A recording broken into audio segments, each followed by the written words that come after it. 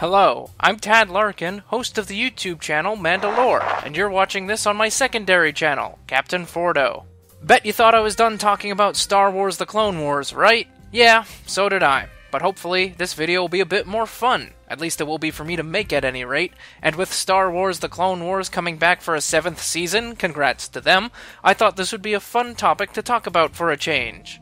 In this video, I will explain how I would have made Star Wars The Clone Wars if I were in Dave Filoni's position, discussing things from the art style to character portrayals to just how I would have made it fit better overall within the continuity it was meant to exist within.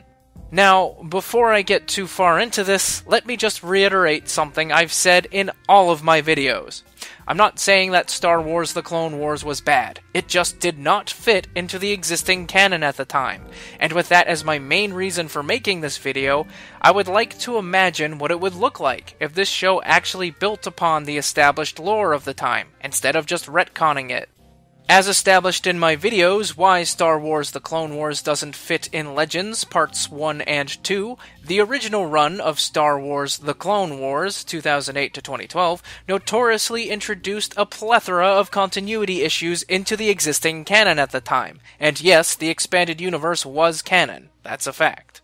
The result of this, combined with the rebooting of the Star Wars franchise's continuity in 2014, many now believe the fallacy that the expanded universe, now rebranded as Legends, was a giant mess with no continuity whatsoever, and, as I explained in my video, The Truth About the Expanded Universe and the EU Movement, the expanded universe did have continuity, quite an intricate one, just not after TCW introduced lore breaking continuity errors and retcons.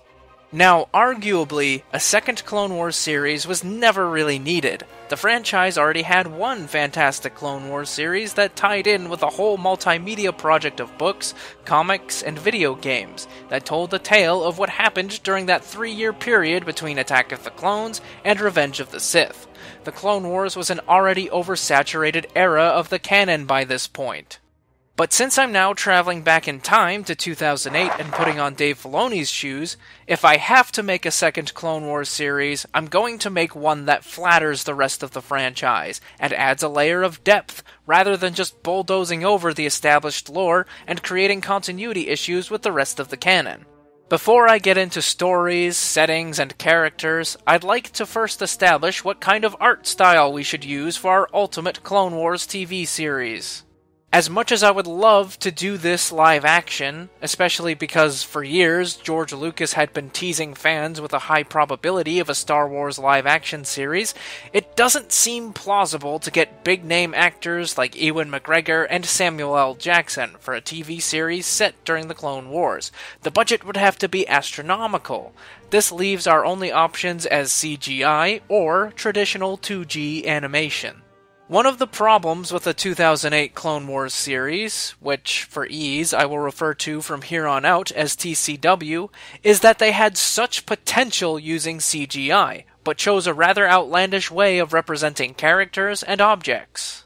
In the pre production, TCW was originally meant to tie into the original Clone Wars animated series, which is why we see things like unnaturally pointy beards on Obi-Wan and Count Dooku, bulbous heads on the super battle droids, and Anakin's butt chin and anime hair. It's meant to be cartoony.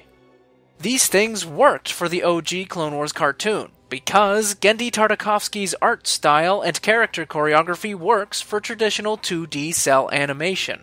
One only has to look at Samurai Jack for evidence of that, and we see influences of Samurai Jack in Clone Wars. He was able to maintain his art style and still make the cartoon feel like Star Wars. And so it was kind of important to us to create a style where it spoke true of Star Wars and uh, related to it, but it also had its own visual point of view. George Lucas really liked the art style in Clone Wars, and as he says here in the featurette Connecting the Dots, he was looking into moving into that kind of animation, obviously for future projects. So it's safe to say that Genndy's art style was a major influence for the art style in TCW. The thing that attracted me to it, it has a slight anime feel to it, and I'm very interested in anime, and I was really interested in moving into a kind of animation that was very different from anything we'd done in the past. And um, Genndy is very good at bridging that transition between traditional animation and anime. However, as soon as you bring that art style into a 3D medium, it feels less believable and less like Star Wars, and ruins what they're trying to achieve, in my opinion. Granted, the CGI does improve as TCW progresses into the later seasons. We see the animation become smoother and the lightsaber duels are less choppy and rigid. However, the cartoon esque art style applied to the character and vehicle models remain the same, even as the environments and effects are rendered in more realistic style. It creates this conflicting theme between cartoon and realism that just screams, to me at least, we don't have a consistent theme. If we must do CGI in our ideal Clone Wars series we're building here, I want to maintain a cohesive theme. I'd also like something more realistic in style. And what really interests me is the cinematic trailers for the Star Wars The Old Republic MMO. In 2011, we were blessed with this amazing CGI cinematic Deceived trailer for the upcoming BioWare MMO Star Wars The Old Republic, and after that, more trailers ensued, causing a severe case of gaping mouth amongst my friends and I in the lunchroom of my local high school. The amazing thing is, the CGI was so well done that it arguably still holds up today, Disappointingly, the actual game didn't end up looking anything like the trailers, but I still love the trailers to death, and that's what I'd like to do for our Fantasy Clone Wars series here. I could go on about how smooth the animations were, and the realistic facial features on the characters, and the lightsaber choreography, but I think the clips that I've been playing from the trailers while I've been sitting here blabbing speak for themselves, and make a strong enough case on their own for why this should be the art style we use in our series.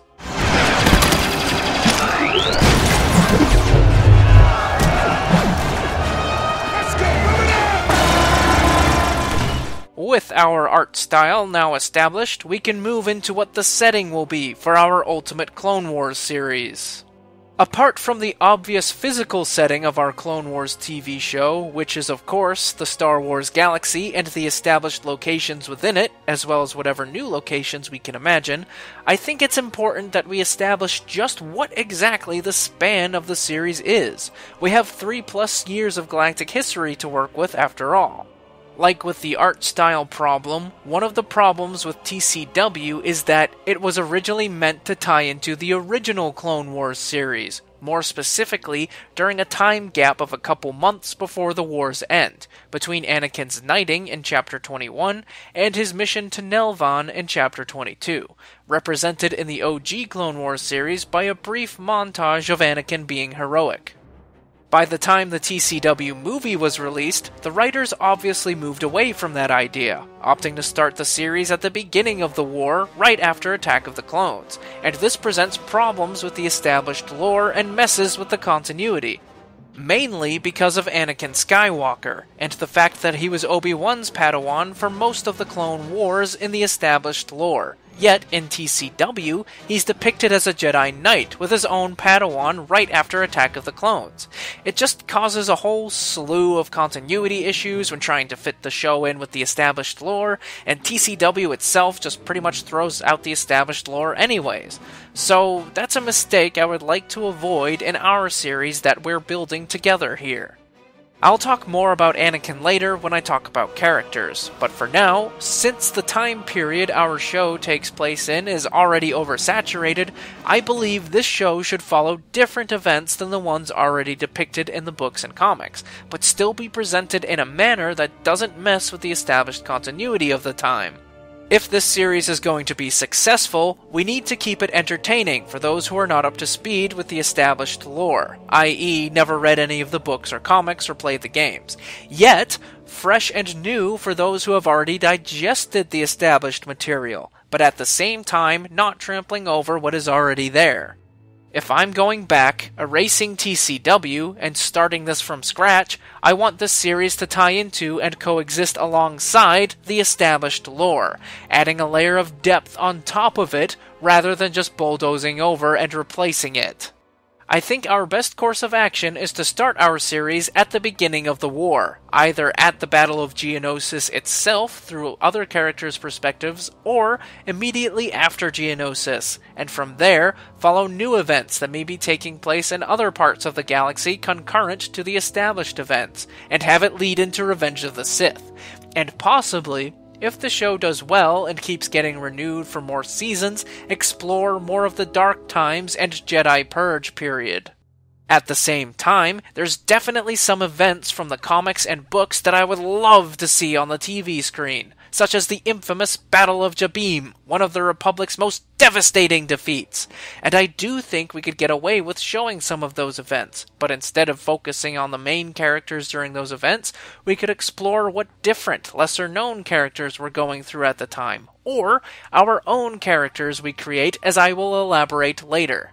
At the very least, we should reference established events in dialogue to give the episode its frame of time and where it fits in the overall lore. Maybe something like, while General Kenobi and Padawan Skywalker are leading forces on Roxas Prime, we need you, name of character here, to go do this, yada yada yada. Obviously, the dialogue will be better written than that. I'm just spitballing. Basically, to sum it all up, I want to keep it fresh, while putting in some events from the established lore for the fans that may have read those comics and books, or played those video games, or remembered that scene from the OG Clone Wars series, strengthening the continuity of the overall canon in the process. Again, adding a layer of depth rather than depicting something completely contrary to what we've already seen. Add to the lore, not overwrite it. If we are successful in this endeavor and our show is granted the ability to go into what happened after the Clone Wars, and provided in this alternate history George Lucas never sells Star Wars, I think this would be prime territory, given that the Jedi Purge era was relatively unexplored at this time. I argued earlier that a second Clone Wars series was never really needed, and I stand by that, because in 2008 we had this whole new era that was open to us with the completion of the film saga after Revenge of the Sith three years earlier, and we could have explored more of the Jedi Purge in a way that the Dark Times comics couldn't and didn't. But no, we had to go back and see the Clone Wars again, apparently. Imagine, we switch focus from our main characters, who could possibly be Jedi, as I'll theorize when I talk about characters later, and we pan over to Lord Vader, and his early missions to hunt down and eradicate remaining Jedi survivors of Order 66. We can even have the show lead into the events of The Force Unleashed, and show Vader finding Galen Marek on Kashyyyk, and maybe even go a bit more in depth on his training as Vader's secret apprentice. Which would be perfect, because the Force Unleashed games are coming out during this time in our real history, giving us a marketing opportunity. And of course, the early history of the rebellion can be explored, although it wouldn't be a full fledged rebellion at this point, given that the Rebel Alliance doesn't form until two years before A New Hope, as depicted in The Force Unleashed. It's still an idea that can be toyed around with. All that being said, we can confirm that our series will start at the beginning of the Clone Wars and lead into Revenge of the Sith, focusing on events in other parts of the galaxy away from the main heroes, i.e., Obi Wan and Anakin, with the goal of setting up the Jedi Purge era and possibly exploring more of the Dark Times if permitted. Our art style and setting is now finally established, and with that, we can move on to characters and just who our Clone Wars series will be focusing on. The obvious two characters that come to mind when one thinks Clone Wars is, of course, Anakin and Obi Wan. And as I've said many times in previous videos, TCW's depiction of Anakin and Obi Wan, more Anakin than Obi Wan, I'll specify, I have found many problems with, and honestly made Anakin a boring character in my opinion. Since they made Anakin a Jedi Knight to coincide with their original idea of having the show taking place during a time gap in Clone Wars that I mentioned earlier, TCW has Anakin start off as a Jedi Knight with a Padawan of his own, right after Attack of the Clones, which raises some questions.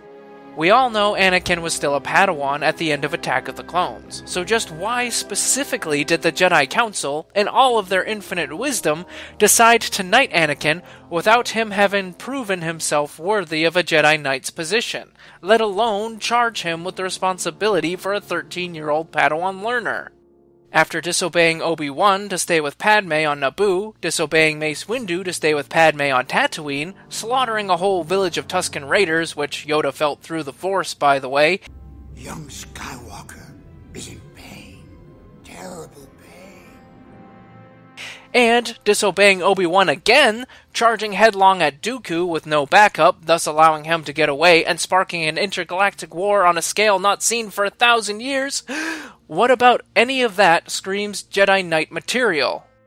The justification that later source books and TCW tie in material, as well as Disney owned Lucasfilm's new canon, used was that they needed more Jedi Knights, thus more Jedi Generals, after the Battle of Geonosis. Which is understandable, I suppose, but given his behavior in Attack of the Clones, Anakin should be your last choice for Jedi Knight material, chosen one or not. In the original Clone Wars series and the comics, books, and video games of the Clone Wars multimedia project, Anakin experiences a more organic and natural character progression, from the whiny brat he is in Attack of the Clones to venerable Jedi Knight in Revenge of the Sith, and it's established that he's knighted two years and six months into the war, rather than immediately after Attack of the Clones, allowing the character a more realistic time span to grow up and mature over two and a half years of bloody battles, daring rescues, and suicide missions. This again presents problems with TCW fitting into the established continuity, because all of the books, comics, and video games that feature Anakin in them that take place before that two years and six month knighting date depict Anakin as still Obi Wan's Padawan. This is a clash we want to avoid with our Clone Wars series. Which is why, for the early episodes that feature Anakin, he'll still be depicted as Obi Wan's Padawan, rather than a Jedi Knight. And once we get into the later episodes where he is a Knight, I don't believe giving him a Padawan of his own to look after is a good story idea either, for the same exact reasons I explained when talking about his unlikely early knighthood. That, and because it would just be too close to Revenge of the Sith at that point, anyways.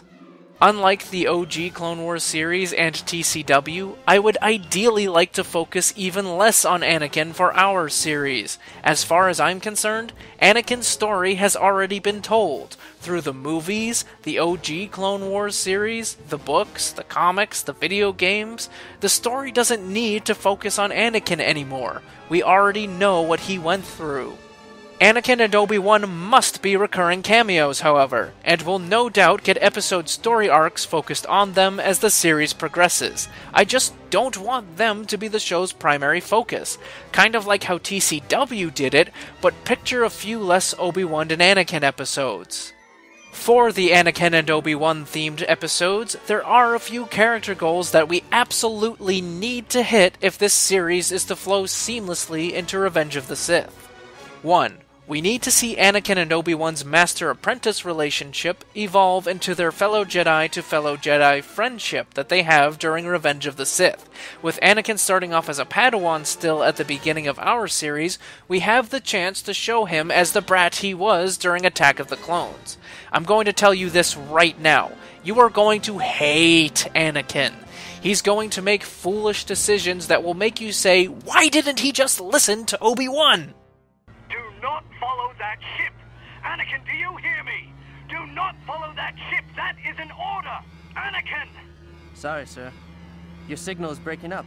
Padawan, you. As the series progresses, we'll see Anakin mature a bit. Obi-Wan will loosen up on him, and leading into his knighthood, Anakin will become the hero with no fear we see depicted in Revenge of the Sith novelization and other expanded universe material. Past his knighting, Anakin will begin to see Obi-Wan as less of a father figure, and Obi-Wan will see Anakin less as a rebellious teenage son and more of a brother in arms. 2. Their relationship with the clone troopers will need to be depicted. TCW did a good job of this, in my opinion, but I think it would be more interesting if maybe Obi Wan was a bit more wary of the clones in the beginning, more reluctant to rely on this army of strangers that suspiciously showed up out of nowhere, and gain trust in them as the series goes on, which would make the Order 66 betrayal and Revenge of the Sith sting all the more.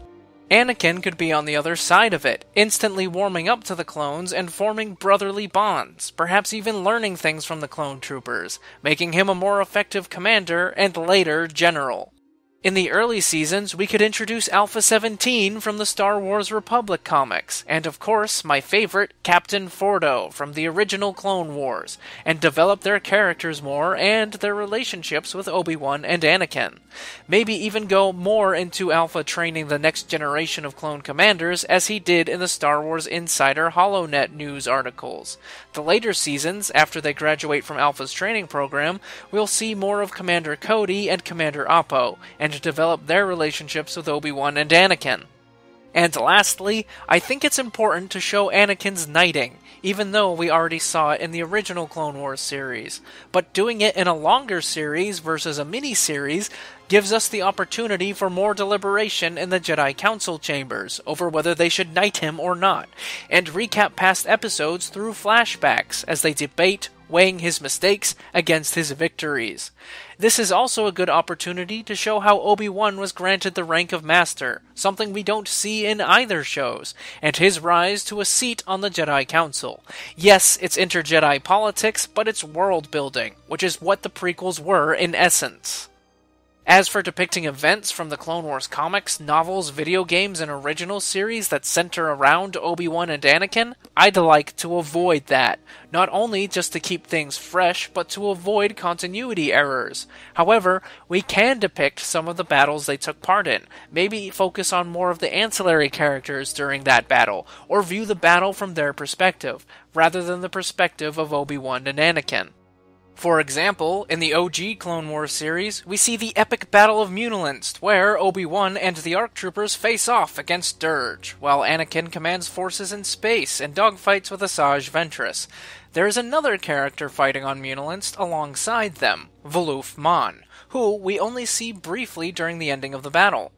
Voolvif Monn was created for a Cartoon Network fan poll, which would decide which new Jedi character would be featured in Star Wars Clone Wars Chapter 20.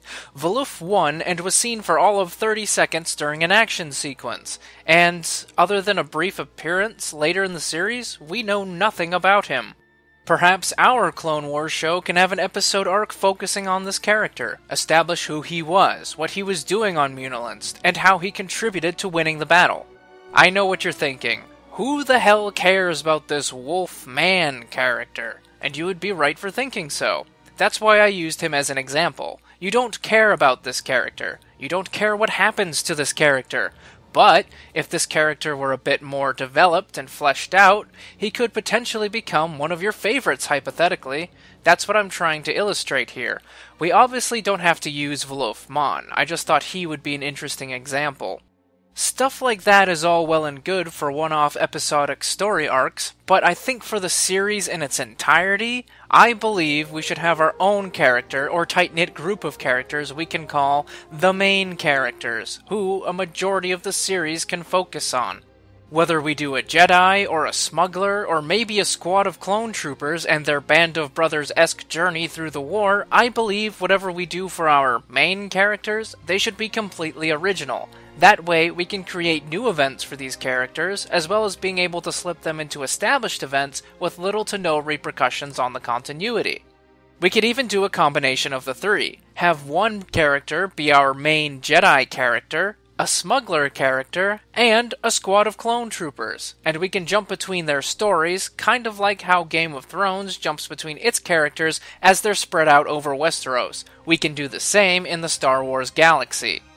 With our Jedi character, we have the chance to view the war through the eyes of the Jedi. What does he or she think about the war? About the role of the Jedi as generals? Does he or she maybe consider joining a separate Jedi sect, like Djinn Altis's Jedi sect? Or maybe even defecting to the CIS, like Sora Bulq and Tol Skor did? The Jedi character allows us to question the morality of the Jedi Order and the Republic, and maybe, even if he or she disagrees with it in principle, he or she continues to fight until something sets them off.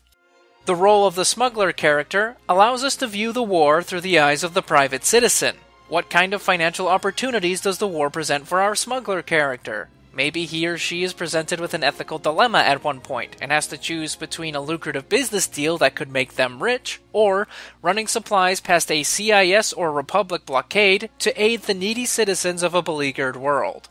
Maybe he or she has to consider joining a side at one point, and with that we can explore what the war was like for normal people on both sides of the borders. The Clone Squad gives us the chance to view the war through the eyes of a soldier. Part of me wants it to be a squad of regular clone troopers. However, if we do a squad of clone commandos or ARC troopers, they're canonically more independent than the standard rank and file troopers, capable of a wider range of free thought and ability to question orders.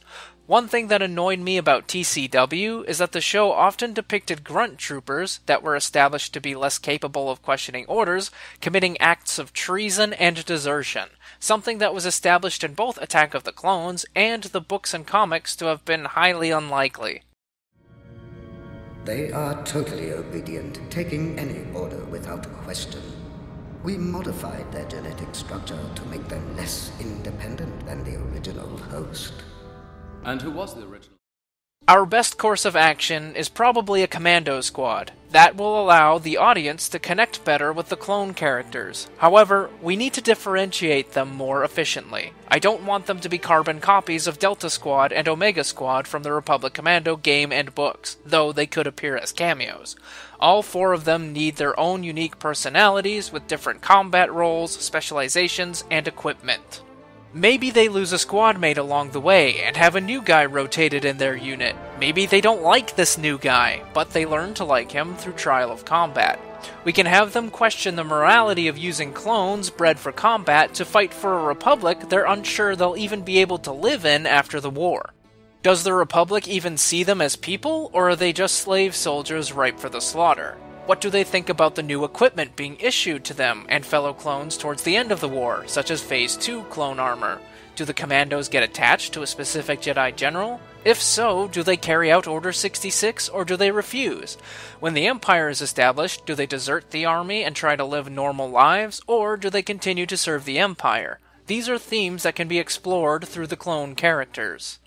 If we're going to create new protagonists, we might want to consider making our own antagonists as well. And lucky for us, there's plenty of room to develop our own characters fighting for the Separatists. There are heroes on both sides, after all, as stated in the Revenge of the Sith opening crawl, and I've come up with two ideas.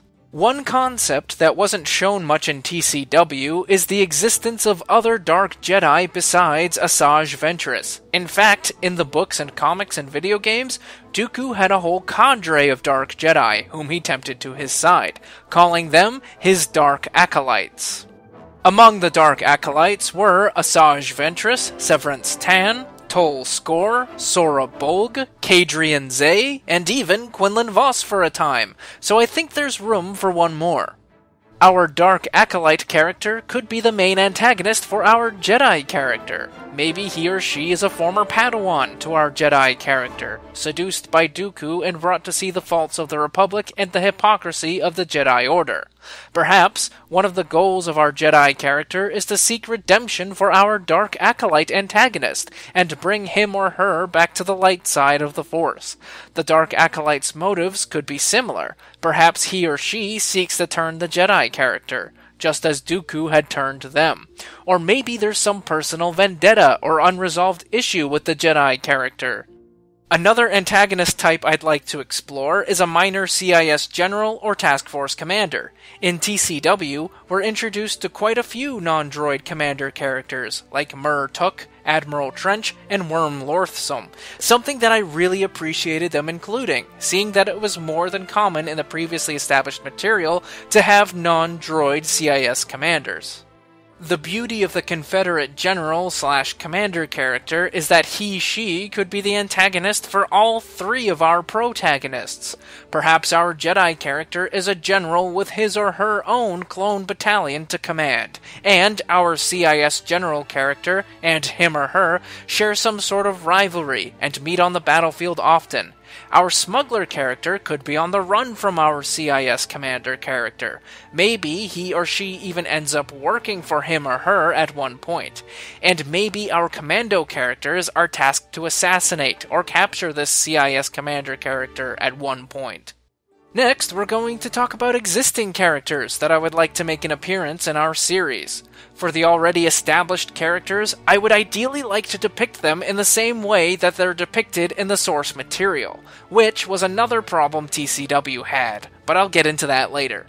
Apart from the obvious Mace Windu, Yoda, and the cavalcade of other easily recognizable background Jedi characters from the prequel films that will no doubt be playing roles in this series, there's one character that doesn't appear in either Clone Wars shows nor the pre existing material, and he needs to. I'm talking, of course, about Rom Kota. Rom Kota was a major character in the Star Wars Force Unleashed games that came out around the same time TCW did and was still airing on Cartoon Network. And he is arguably one of the most badass Jedi characters to grace video game consoles since Kyle Katarn. In The Force Unleashed, we learn that Rom Kota was a Jedi general during the Clone Wars, only he was extremely distrustful of the clones, and opted to raise his own militia forces to combat the Separatists. When Order 66 is issued, his militia refused to carry it out, being loyal to Kota, which allowed him to survive, leading the militia in guerrilla warfare against the Empire. Not including Rom Kota was one hell of a missed opportunity on TCW's part, and if I'm in Dave Filoni's shoes, or hat rather, I'm not going to miss it again. This gives us the chance to explore a younger Rom Kota and his struggles with his militia during the war. Did he face any backlash from the Jedi Council for refusing to use clones? Did his army fight in any battles alongside any clone armies at one point? And if so, was there any tension or rivalries between non clone and clone units? These are questions that we can answer with this series, strengthening the continuity through connections with the Force Unleashed. Speaking earlier of CIS commander type characters, how could we have a Clone Wars series without General Grievous? General Grievous first appeared in Chapter 20 of the original Clone Wars series, and our first impression of him was that he could hold his own against seven Jedi at one time. He was a complete and utter badass. The combined affiliated comics, novels, and HoloNet news slash shadow feed articles in Star Wars Insider portrayed Grievous as this killing machine and tactical genius. He was truly an indestructible master of war. Now, the problem with Grievous is that during his conception, George Lucas described him to all of the EU content creators as a perfectly capable Jedi killer, in the words of Paul Rudish. By the time the final draft of Revenge of the Sith was finished, George had changed his mind about Grievous, wanting him instead to be a cliche cartoon villain who flees in terror whenever his dastardly plans fail. Uh, you know, because I think George hadn't really locked down exactly what he wanted to do with the character for Grievous. Yeah, and what the way George pitched Grievous to me was that he's kind of one of those old, you know, B serial uh, villains where he does something bad and then he, you know, twirls his mustache and runs off. Yeah, yeah, yeah. He always escapes. but before that, we had been told that he's like this ruthless, totally capable Jedi killer. Right. So it's like, well, yeah, I think he was still kind of working on working it, it out. Yeah. So uh, what we did is we just had Dooku explain, you know, this is why and for us, and to also explain to the audience who may have been concerned or wondering after seeing the first batch, like how he could take on these Jedi. Genndy and the Clone Wars team adjusted for this, toned back Grievous for the final season of Clone Wars, and added a scene where, during lightsaber training, Dooku instructs Grievous to be more cautious and to flee whenever the tactical situation is deemed untenable. This worked for Grievous, as we had that explanation for why he was so badass in the original cartoon and comics, and why he performed so lackluster in Revenge of the Sith. We had that bridge in his character to explain his change in behavior. Remember what I taught you, General. If you're to succeed in combat against the best of the Jedi, you must have fear, surprise, and intimidation on your side. For if any one element is lacking, it would be best for you to retreat. You must break them before you engage them. Only then will you ensure victory and have your trophy. TCW, however, took George's final idea for Grievous and brought it down to comedic levels with how incapable the character was at performing even the simplest of tasks. Throughout the series, we see all of Grievous's plans fail miserably. We see him defeated in open lightsaber combat by a single 13 year old Padawan. And we see him embarrassingly taken captive by a group of Gungans a stark contrast indeed from the original depiction of Grievous. The original Grievous ate Padawans for breakfast. If we're erasing TCW and going back in time and redoing it essentially, I want a balance between George's original idea for Grievous and his final idea for Grievous, where we make him a perfectly capable Jedi killer and tactical genius he was depicted in the source material, while at the same time having him twirl his metaphorical mustache and run away when and only when his plans are foiled, which will be seldom in our series.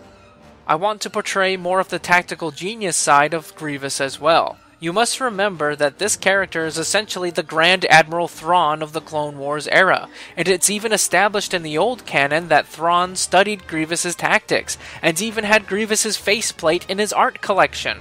With this series, we're going to do the Grievous character justice, while staying inside the confines of what George wants the character to be. Report, General. What news from the front? The strategy is working perfectly, my lord. The Jedi and their forces are stretched thin across the Outer Rim worlds in a vain attempt to contain our new offensive. Good, good. There are a plethora of other established EU and film background characters that would no doubt be appearing in this series, and instead of talking about each and every one of them and explaining how to avoid the mistakes TCW made with them for our series, I'll just say this. My main goal, as established at the beginning, is to adhere to the source material while keeping it fresh and entertaining. Characters like Quinlan Vos, Asajj Ventress, Even Piell, Tarkin, Ackbar, Yularen, Barriss Offee, and others who had their character personalities and or origin stories butchered and maimed by TCW, those characters shall be portrayed correctly in our Fantasy Clone Wars series, with the correct temperament, social status, military slash government rank, species, homeworld, appearance, equipment, and so on and so forth. Don't expect Tarkin or Yularen to show up as naval officers in this show, as Yularen was a colonel in the Imperial Security Bureau, the Empire's CIA, in A New Hope. Dave Filoni only made him an admiral because he saw the white uniform and mistook him for a Grand Admiral proving Filoni knew nothing of the source material going into this. As for Tarkin, he was a lieutenant governor of the Seswenna sector during the Clone Wars, and if he does appear in our Ideal Clone Wars series, he shall be portrayed as such. I think by now you get the gist of what I want to do with our new and existing characters, how I want them to be portrayed, and how we can write them effectively into our setting to tell deep and interesting stories. So now the question arises just who is going to voice our characters? For our completely new characters, it's hard to tell at this point. We'd have to flesh out our characters a bit more, and then the best course of action would be to audition different voice actors until we find who fits for the different characters.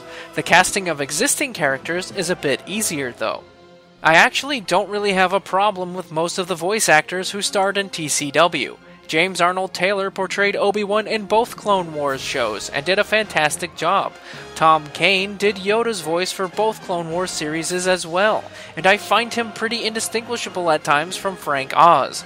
Mace Windu's voice actor, whose name escapes me at the moment, did a great job too. And of course, Anthony Daniels, the only Star Wars actor I've had the privilege of meeting, is usually down to do anything Star Wars related, so he'll always be 3PO.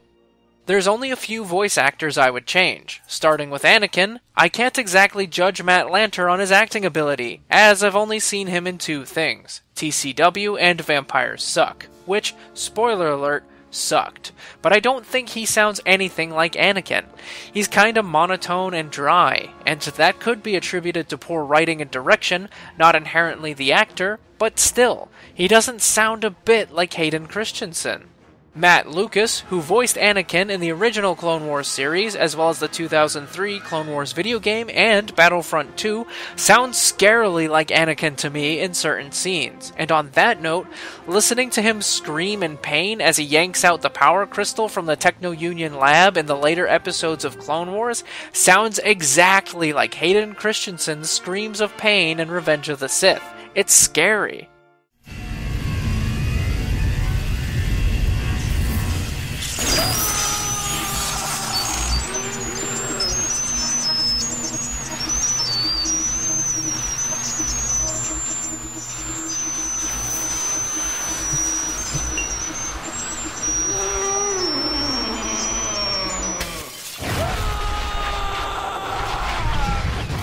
The other voice actor I would replace is D. Bradley Baker, for the simple reason that he just doesn't do a good job with the clones, in my opinion.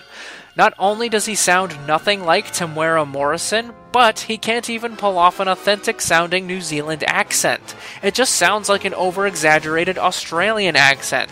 All I can hear when I watch TCW or play EA's Battlefront 2 is that fish from SpongeBob who says, Well, maybe we wouldn't sound so bad if some people didn't try to play with big, meaty claws. What did you say, punk?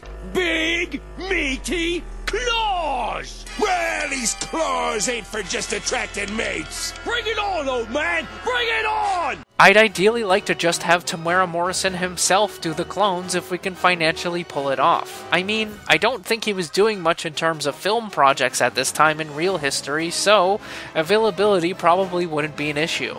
But if we can't get Tem, I'd rather do auditions to see if we can find someone who sounds more like Temuera Morrison than D. Bradley Baker. Our setting and characters have now been established, so who can we trust to write our Clone Wars series, making sure our stories and characters are entertaining and deep without overriding the existing lore? Now, I know realistically that the people I'm going to name here probably wouldn't have had time to be brought onto a board of writers, as many were focused on other Star Wars related projects at the time TCW was being produced. But I think we can at least bring them on as consultants for the writers to obtain ideas from. And I thought, who better to make sure that our Star Wars series is entertaining and consistent with the established lore than the writers responsible for building the Clone Wars era? Other than George Lucas, who, if we're going by what was done with TCW back in 08, will be producing our Fantasy Clone Wars series, one guy I know we need on our team is Haden Blackman, who not only supervised the creation of The Force Unleashed, but also wrote quite a few comics for the expanded universe as well. Among some of the items on Mr. Blackman's resume is Star Wars Obsession, a five issue comic book series that followed Obi Wan on his quest to find and redeem the Dark Jedi Asajj Ventress, after learning of her heritage while imprisoned on her homeworld in the previous issues of Star Wars Republic. It was probably one of the more painful things to be retconned by TCW, as the comics were beautifully written and gave a fitting end to Ventress's story within the context of the war. With Haden Blackman on our team, we can rest assured that interconnectivity between the show and the comics will be guaranteed, as well as when we get into the later seasons, since he'd be working on the Force Unleashed games around this general time period, he can give us insight onto what will happen in those games to help our series connect better and broaden the continuity. An author that I'd like to either have on or instructing our writers board is Karen Traviss, author of the Republic Commando novel series. Miss Traviss, I regard at least as the J.R.R. Tolkien of the Star Wars franchise, since she created the most complete fictional language within the franchise as well as developed an entire planet and culture for the Mandalorians, a feat that I don't think any other EU content creator can compare to. Sadly, Mrs. Traviss left the franchise around 2010, if I recall correctly. Due to discrepancies between her Republic Commando novels and TCW, she was required by the licensing editors to completely rewrite Republic Commando to fit within Dave Filoni's version of the Clone Wars if she wanted to continue writing her sequel series, Imperial Commando. She half considered this before leaving, and given the tragic state of the Star Wars franchise today, she probably got out while the getting was good, in my opinion. The heartless wretches running the franchise today don't appreciate her work anyways. Just look at The Mandalorian. But since this is an alternate reality where I'm Dave Filoni and we're going to write our Clone Wars series within the same context as her novels were written, i.e., the actual existing canon at the time, we shouldn't have to worry about her leaving on us.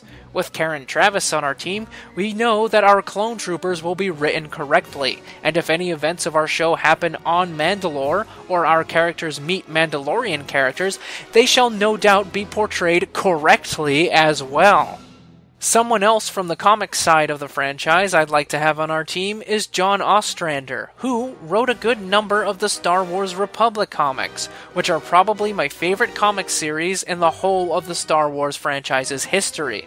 Jan Duursema's gritty realistic artwork combined with Ostrander's storytelling capabilities made the Republic comics an absolute treat to read, and I recommend you read them as well. Ostrander is also known for creating one of the most iconic EU characters, Quinlan Vos, who, like so many in Dave Filoni's TCW, was portrayed incorrectly, causing inconsistencies with the rest of the canon at the time, which is something we're going to avoid with our series. Just like with Haden Blackman, with John Ostrander on our team, we can be sure that our show won't conflict with the established comics, as well as getting some great quality stories out of the guy, and not to mention a completely accurate depiction of Quinlan Vos. Last person of note I would like on our team, even as just an advisor, is James Luceno, who, in my opinion, second only to Timothy Zahn, is one of the best Star Wars Expanded Universe writers, and not to mention, is pretty much the Jocasta Nu of the Clone Wars multimedia project, being the foremost expert in my opinion, and it showed through his novels. His excellent novels, including Labyrinth of Evil, Dark Lord, The Rise of Darth Vader, and Darth Plagueis, lead me to believe that we'll have no shortage of quality stories. With Labyrinth of Evil being basically the end cap on the pyramid of the established Clone Wars lore at the time, we can also be assured that he won't let our series conflict with any of the existing novels. And of course, for monitoring the overall continuity, I'd want Leland Chee on our team, Keeper of the Holocron, also known as the guy who is generally in charge for making sure the EU stayed consistent, both with each other and with George Lucas's film Hexology. Chee often advised Filoni during TCW's production, telling him, for example, that he couldn't use certain characters because they were dead. However, Filoni, more often than not, would go over his head and ask George Lucas himself, who would usually approve anything. Chee and the other continuity editors held no real power over Filoni because of this, and could really only advise him. If I'm Dave Filoni, instead of just being selfish with no actual respect for Star Wars, the franchise as a whole, or the franchise's continuity, I'm actually going to respect the existing canon. And if I'm unsure if something contradicts the canon or not, I'm going to ask the chief continuity guy, Leland Chee, and abide by his advice. It's that simple. Pretty much everything is now in place for our Ultimate Clone Wars series. We have our art style, we got our setting, we have characters, both new and existing, we have who will voice our characters, and who will supervise the writing of our stories. Now we just need to figure out who's actually going to watch our Clone Wars series and how we're going to market it. This is the part where I know I'm just going to make people mad, but with a TV Y7 rating, TCW wasn't exactly geared towards adults, and it showed through the dumbed down dialogue. And I definitely want our target audience to be a bit more of the older kid to adult range than the kid range. This will allow our writing to be a bit more grown up and our dialogue more intelligent. Now, as a 25 year old man that unironically enjoys SpongeBob and Adventure Time, I realize it's entirely possible for adults to enjoy kids' shows. I'm not trying to insult anyone's intelligence for telling them that the show they enjoy is a kids' show. I'm just facing facts. It was a kids' show. The OG Clone Wars show was a kids' show as well, and I still love it as fiercely as I did when I was a kid, perhaps even more so now that I understand and appreciate what it contributed to Star Wars, even if new Lucasfilm doesn't.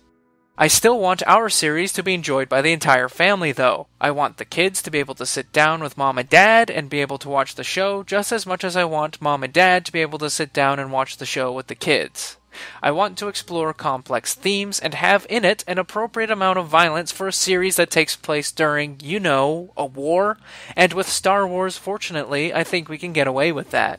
The good thing about blasters and lightsabers are they cauterize the flesh, leaving no blood. So, it hopefully won't traumatize the kiddos if we show something on the intensity scale of, say, the Battle of Jabiim, which saw some of the most vicious fighting during the war. And that being said, I don't think our ideal Clone Wars series is fitting for Cartoon Network. Maybe Toonami, but not Cartoon Network daytime. I'd be more looking at a network like AMC or TNT. In fact, they did air a few episodes of TCW on TNT back in the day, if I recall correctly, though I don't recall if they kept airing them on TNT. With violence, even fantasy violence, comes language, and thankfully things are a bit different in the Star Wars galaxy in terms of cussing. Throughout the books, comics, and video games, there are plenty of creative curse words that characters use that aren't real curse words in our language, such as Kark, Fierfek, Blast, Sith Spit, Kriff, Dikut, Sheb, and so on and so forth. With such a creative fictional vocabulary at our disposal, we can rest assured that our characters won't be throwing around F bombs, which helps bring our rating down to a more family friendly level, yet still allowing our characters to express frustration in appropriate situations. At most, we'll get a suggestive dialogue content descriptor.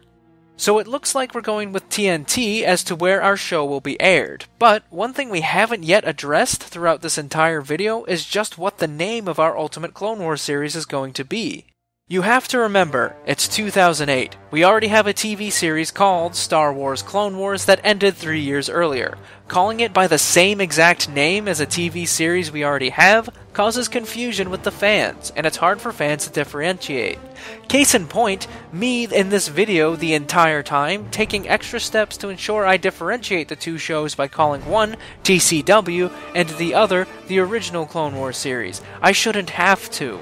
I'm opting for something a bit more dramatic for a title, a bit more befitting of a Star Wars show. I'm thinking either Star Wars Fall of the Republic or Rise of the Empire, but I like Fall of the Republic better. It just has a better ring to it as well as a sinister yet tragic sort of focus. Fall of the Republic is relatively short, gets to the point, tells you what the series will be about, and establishes the time period the series takes place in, all with that four word title.